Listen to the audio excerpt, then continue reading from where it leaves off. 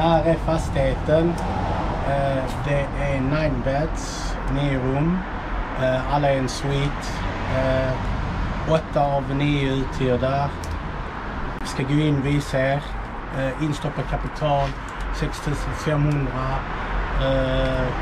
Vi gör pengaflödet på den på tror 1500 ish. Och så, så delar vi 50-50 med vår samarbetspartner. Eh, riktigt bra. Fick ut alla våra pengar på sex månader. Var den i två och ett halvt år till. Kan inte visa allting eftersom att en av hyresgästerna äter där nere så kommer jag inte visa det. Kommer visa ett rum och kommer visa lite eh, de typ gångarna och sånt. Så, hej! Så nu här är vi på utsidan. Eh, detta är trädgården. Eh, Man kan gå in där inne men det tillhör en person som bor där redan.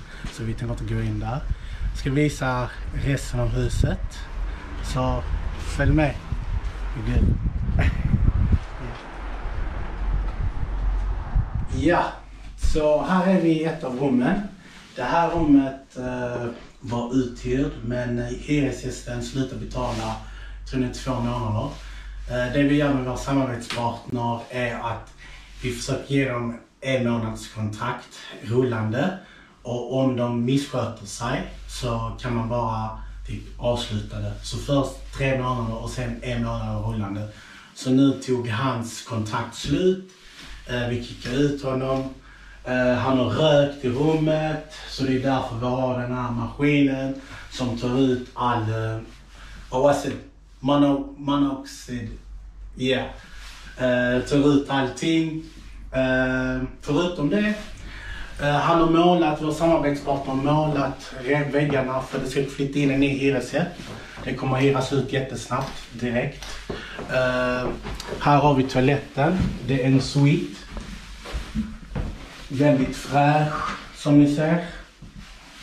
You, may come in. Väldigt fräsch som ni ser.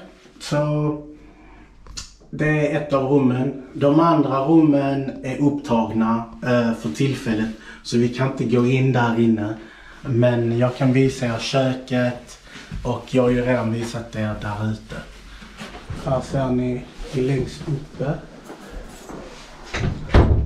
Fem och sex. De här är deras egna nycklar som de lägger in. Fyra, det var det här rummet som vi var i. Eh, som är ledigt. Så det här var ett gammalt hotell innan. Det är nummer tre, nummer två, nummer ett.